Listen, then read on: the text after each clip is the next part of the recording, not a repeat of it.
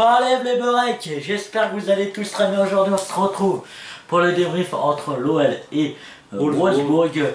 Donc, euh, on va, je vais vous donner les compos. Après, je vous laisserai avec Arthur. Donc, euh, La compo de l'Olympique Lyonnais, Gorgelin, Marcelo, Dubois, avec euh, aussi Morel, Mendy, Touzard, Série Awar, Terrier, Memphis, Traoré. J'ai pas vu le match donc je peux plus débriefer. Je, je me dis juste les compos et je vous laisse avec Arthur. Allez, Voilà, salut Arthur.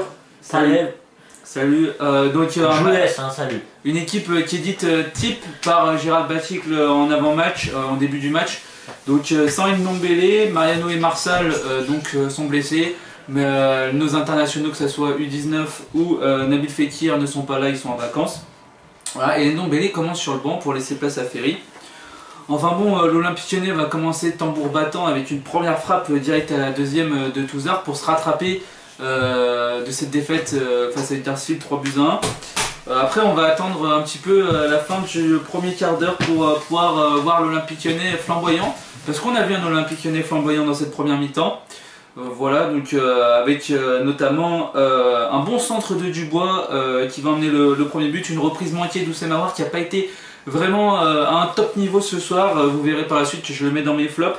Voilà, qui va manquer sa reprise de volée. Fort heureusement, ça va se transformer en passe décisive puisque euh, Bertrand Traoré va marquer et donc euh, ce but va être validé par la VAR puisque l'arbitre avait un doute sur une faute de Martin Taillé juste avant. Voilà. Donc euh, par contre, donc ça va faire 1-0 pour Lyon à la 17e minute de jeu. Lyon qui va vraiment attaquer énormément côté droit, voilà, ça, va venir de la droite avec beaucoup de centres de Dubois, de Traoré. Euh, avec, euh, ça va donner donc lieu à, un Memphis euh, qui va aussi prendre le côté droit, s'infiltrer dans la surface de réparation, il va faire un centre en retrait. Awar rate encore le ballon, puis c'est donc Traoré qui va rater l'immanquable à la 31e minute.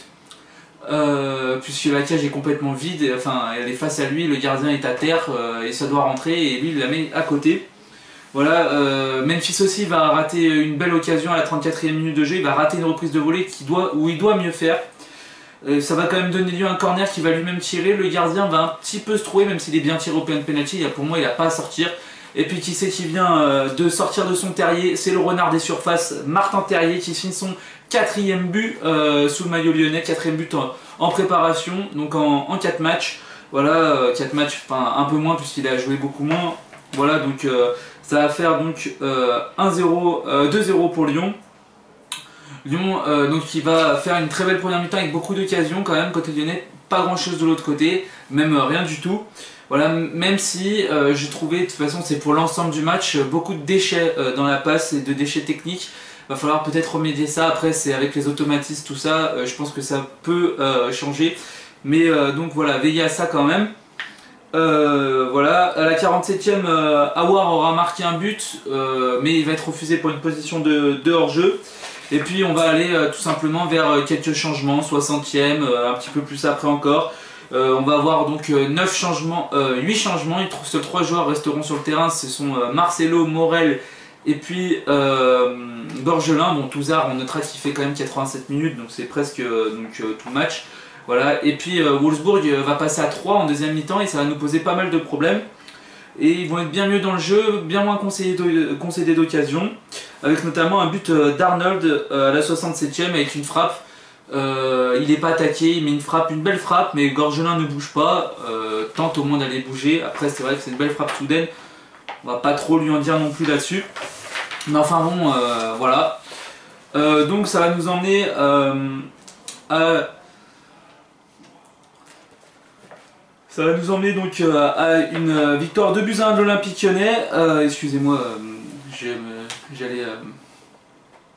je me suis enrhumé. Donc, donc euh, 2 buts à 1 pour l'Olympique Lyonnais à la fin de, ce match.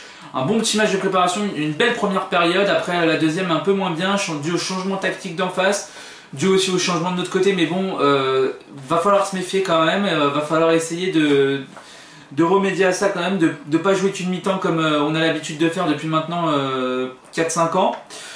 Euh, donc on passe tout de suite au, top et au flop. Donc euh, dans les tops, je mets Traoré tout de même, même s'il rate une occasion, mais je l'ai trouvé encore une fois, comme, le dernier match, assez mobile, Voilà, il était dans pas mal de bons coups et puis il marche. même si c'est pas le but le plus difficile de sa carrière qu'il a rentré.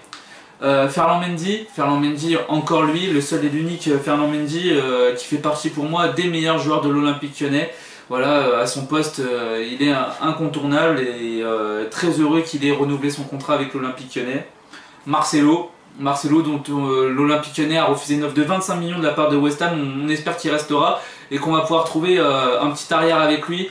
Euh, alors comme ça, j'ai 2-3 rumeurs qui ont circulé aujourd'hui. Ruben Dias de Benfica, l'OL leur a fait une offre aussi pour Marquinhos. Alors ça, c'est à plus prendre avec des pincettes. C'est selon le Paris United. Et puis euh, Yerimina, ça, ça, commence à prendre du plomb dans l'aile, mais Bon, on espère toujours, euh, moi, certainement, on a tous notre préférence pour Marquinhos parce que c'est un joueur de renommée. Après, apparemment, je me suis renseigné sur Ruben Dias et euh, c'est pas mal aussi pour 21 ans. Il a détrôné Luisao. Enfin bon, voilà. Et puis Erimina, tout le monde le connaît avec sa Coupe du Monde maintenant. Donc euh, voilà, si on a un de ces trois joueurs, ça pourrait être pas mal. Au milieu de terrain, il faudra recruter aussi, il me semble. Mais bon, on n'est pas là pour débriefer du mercato forcément non plus. J'ai trouvé aussi une belle entrée de job qui a été beaucoup plus percutant qu'Ndombele dans son entrée. De bons gestes techniques dans la passe, tout ça, l'intensité, voilà.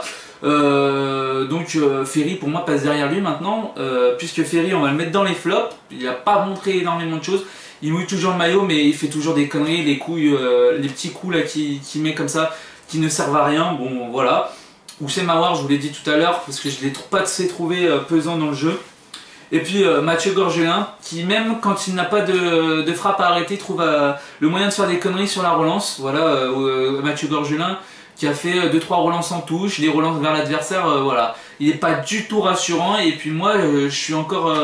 Voilà, donc moi je reste donc persuadé qu'il faut mettre Ratiopi et donc le lancer le plus rapidement possible pour les deux premiers matchs de la saison, euh, puisque Lopez va être suspendu, même s'il va falloir donner un petit peu de temps de jeu à Anthony Lopez pour qu'il euh, soit un petit peu euh, en jambes. Donc voilà, c'est tout pour ce match. Une victoire lyonnaise 2 buts à 1, avec quand même des difficultés en deuxième mi-temps. On a vu un Noël bon pendant 30 minutes. On espère qu'avec l'ICC, l'International Champions Cup, ça ira mieux avec des matchs de gala et que, puis, que ça pourra être bien préparé pour le 12 août contre Amiens. Voilà, c'était la team euh, Josani Gofut. On se retrouve dès mercredi, me semble, pour euh, le match contre l'Inter de Milan pour parler de l'Olympique lyonnais. Et puis dès demain pour les Champs-Élysées avec José. Et aujourd'hui aussi. Tichel Pali, les amis. Salut.